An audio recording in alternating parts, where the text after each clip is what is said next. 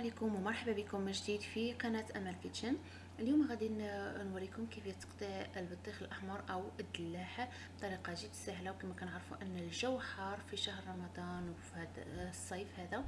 غادي نعملوه كعصير وبطريقة جد سهلة وعصير منعش وغادي نبداو على بركة الله.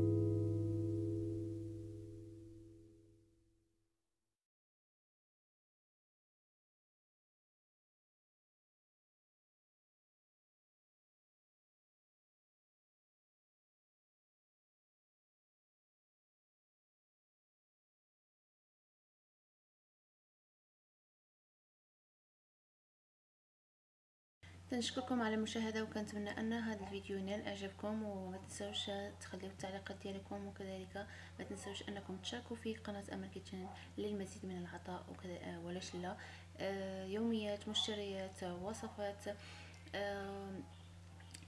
I hope you guys like the video and uh, don't forget to subscribe to my channel for more recipes, uh, reviews, vlogs and um, have a good one.